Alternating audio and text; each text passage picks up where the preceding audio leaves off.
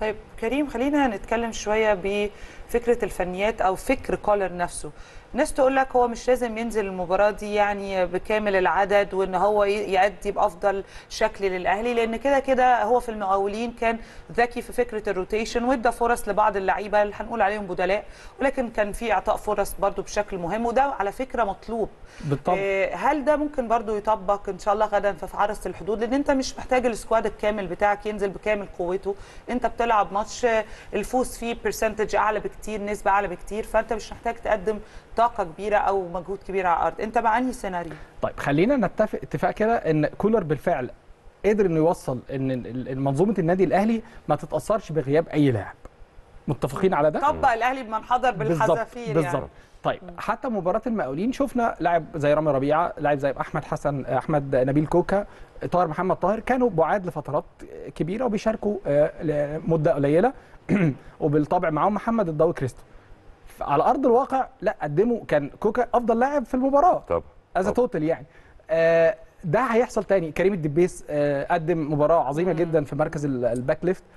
كولر هيستمر في إعطاء الفرص لبعض اللاعبين. في نفس الوقت بيحافظ على الشكل العام داخل الملعب. ودي أبرز حاجة هو بيعملها. إن الأهلي فعلا بمن حضر. الأهلي بيطبق طريقة اللعب اللي هي ال- ال- التيكي تاكا المصرية التمريرات الكتير الاختراقات من العمق أحيانا ومن الطرفين واستغلال مهارات بعض اللاعبين زي بيرسي تاو لو بيلعب محمد كريستو لو بيلعب الناحية الثانية أحمد عبد القادر أو حسين الشحات أو طاهر محمد طاهر. حتى في الهجوم آه، آه، آه، محمد شريف كهربا إحنا ما بقناش نشوف أي فرق الاثنين بي بي بي متألقين وبيسجلوا وماشيين بشكل كويس جدا.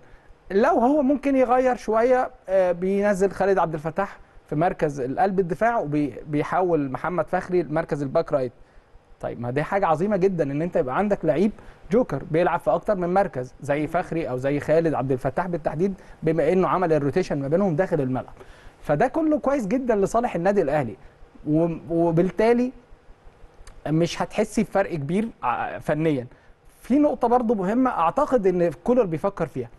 إحنا داخلين على عدد كبير جدا من البطولات في الفترة المقبلة وعندك كاس مصر طبيعي انت هتشارك فيه فلازم يكون اللاعبين يعني بدنيا جاهزين.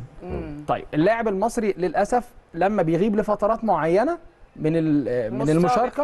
المستوى البدني على الأقل بيقل جدا فكولر راعى ده بشكل كبير قوي ودي نقطة تحسب له بجانب إن هو طبعا عاوز يعمل ريكورد وده حقه وحق أصيل لأي أي مدير فني أو أي فريق في العالم إن هو عاوز يوصل لل 90 نقطة اللي ما فيش حد وصل لها قبل كده.